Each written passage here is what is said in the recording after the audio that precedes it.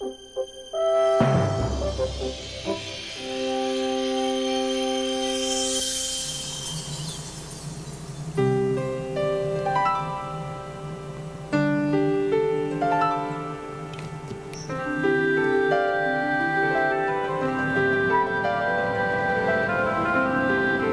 more than 30 years, W-beam guardrails have been one of the most common types of guardrails used on our nation's roadways. Strong post W-beam guardrails are versatile systems that can be used in many types of situations. Every state uses some type of W-beam guardrail system in its state standards. The typical strong post guardrail consists of a 10 or 12 gauge W-beam, W6x9 steel posts, or 6 by 8 inch wood posts and blockout, and an appropriate terminal. Strong post W-beam guardrails have been shown to be effective for small cars, mid-size cars, and large cars.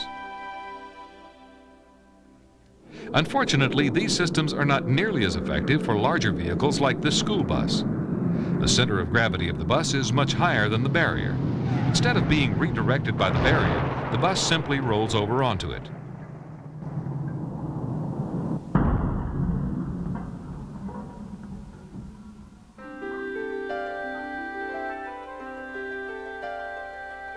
Containing larger vehicles like school buses, intercity buses, single unit trucks, and tractor trailer trucks has become increasingly important on some roadways. A need for higher performance guardrails that would safely redirect both typical passenger cars as well as trucks and buses was the motivation behind the development of the Thrie-Beam guardrails. Thrie-Beam is similar to W-Beam, but there are several differences. The W-Beam has two corrugations. The Thrie-Beam has three. W-Beam is 12 and a quarter inches deep, but Thrie-Beam is 20 inches deep because of the extra corrugation. The standard Thrie-Beam barrier, called the G9 guardrail in the Roadside Design Guide, was developed to improve the performance of the strong post guardrail systems. Normally, the top of the W-beam on a typical strong post system is 27 inches above the ground. The top of the Thrie-beam can be placed 32 inches above the ground because it is 8 inches deeper. The G9 system extends 3 inches lower and 5 inches higher than the normal G4 W-beam guardrail. The higher mounting height of the Thrie-beam was expected to make this system more effective than the W-beam in collisions with large vehicles.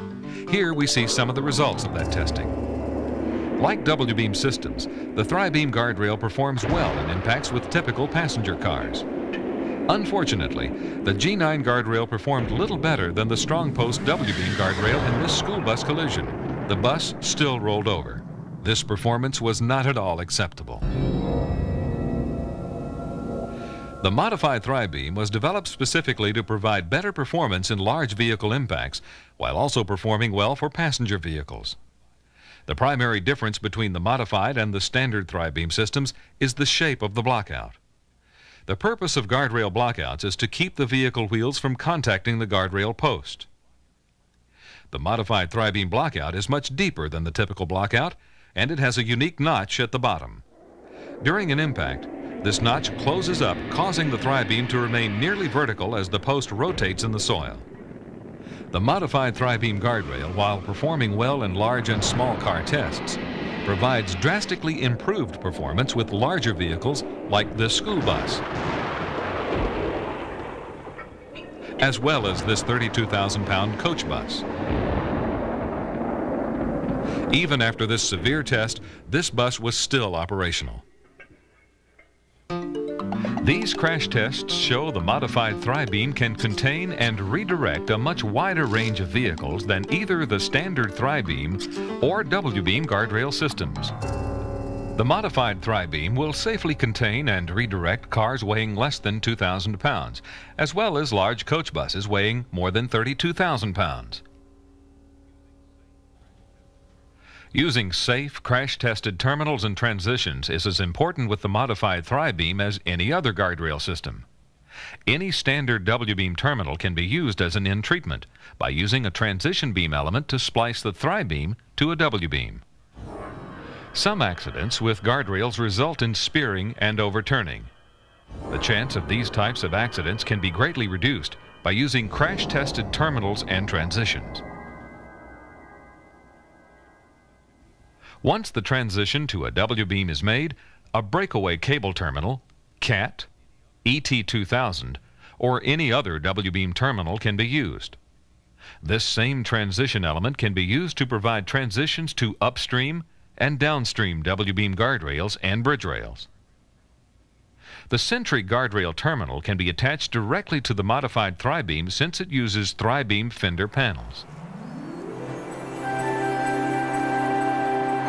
Improved performance alone is not adequate justification for spending more money on roadside hardware. Highway departments always have many needs and too few resources. In several demonstration projects, the modified Thrie-Beam system cost between 25 and $30 per linear foot. Only a few dollars more per foot than the standard Thrie-Beam barrier while offering substantially better performance. This cost will probably decrease as the modified Thrie-Beam becomes a more popular alternative. If there's a good chance of a larger vehicle collision, the reduction in maintenance cost may be significant.